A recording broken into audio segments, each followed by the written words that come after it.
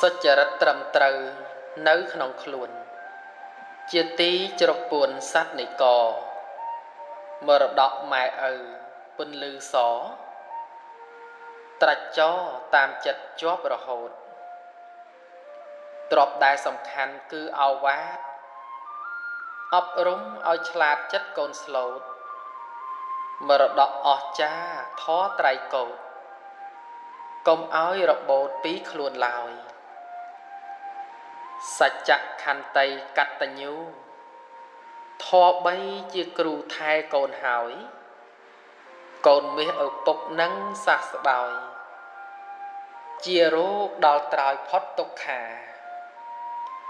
ចិត្តល្អក្រណាស់មិនអាចយកមាសប្រាក់ទៅរកទិញនៅផ្សារ ប៉ុន្តែចិត្តល្អកើតដោយសារមេដាបៃតាព្រានប្រដៅ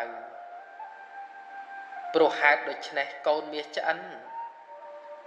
កូនគិតឲ្យប៉ិនកុំឲ្យឆៅអវាទនឹងប្រាក់ណាឆោមឆ្លៅ